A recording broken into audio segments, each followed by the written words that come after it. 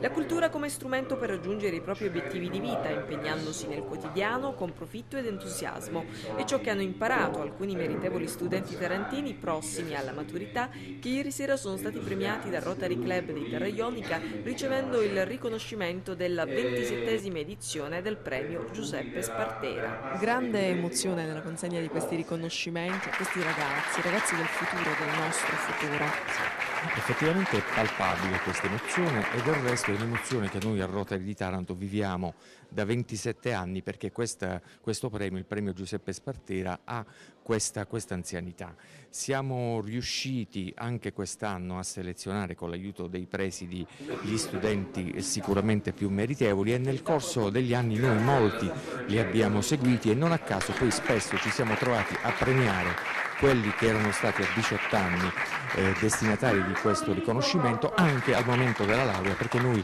tradizionalmente nel mese di maggio eh, seguiamo, premiamo i ragazzi delle scuole superiori e nel mese di giugno quelli dell'università. E quindi il mese prossimo, il 14 giugno, ci saranno delle borse di studio per i migliori studenti dei nostri corsi universitari e molto spesso nel tempo ci siamo trovati a premiare all'università, già i laureati della nostra università che avevamo premiato negli anni passati proprio al liceo. Quindi diciamo c'è un'attenzione, un reclutamento e un talento che emerge subito e che per fortuna poi continua ad affermarsi. Maristella Cacciapaglia, studentessa del quinto anno nell'Istituto Salesiano Don Bosco di Taranto.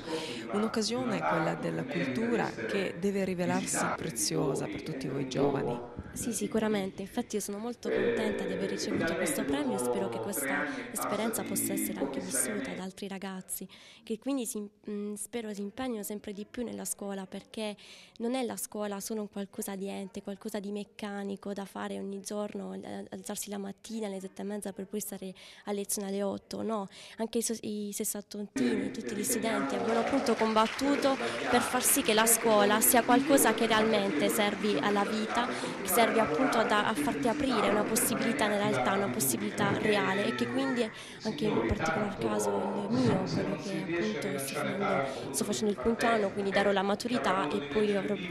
dovrò scegliere per l'università e quindi per il mio futuro. Questa scuola, la scuola, l'impegno scolastico deve anche aiutare i ragazzi a fare la scelta giusta, non condizionata da cosa farò, riuscirò quindi ad avere lavoro con questa università, se no allora è meglio abbandonarlo. Bisogna fare ciò che si piace perché facendo quel che si piace si è felici e si, anche, poi ci, si arriva anche ad avere un posto fisso e realizzarsi comunque. Sicuramente qualche dico o parliamo la storia che c'è che è legata al palazzo degli uffici e noi sappiamo che quelle impalcature che ci sono lì davanti al palazzo degli uffici nonostante queste impalcature